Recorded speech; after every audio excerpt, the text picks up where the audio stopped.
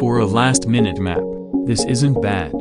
I'm very surprised this was added, as it came out of nowhere. We were all expecting another song, and I will not forgive the community for being so fixated on this one specific song. While the work is impressive, a lot of parts do feel rushed.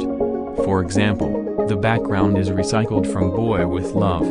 I don't really understand the connection here, as this background doesn't fit the song.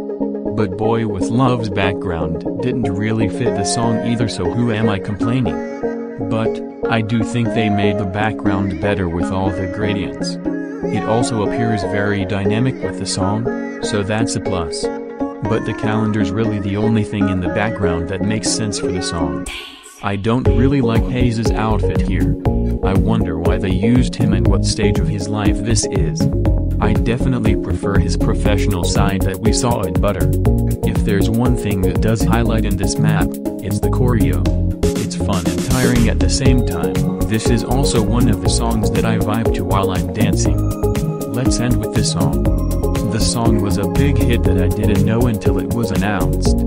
It feels like a standard hit that came out in 2023, a nice beat with lyrics you won't understand at first glance.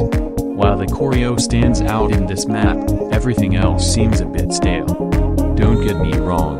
It is visually and choreo-wise great, but it might be one of those that are just kind of, there.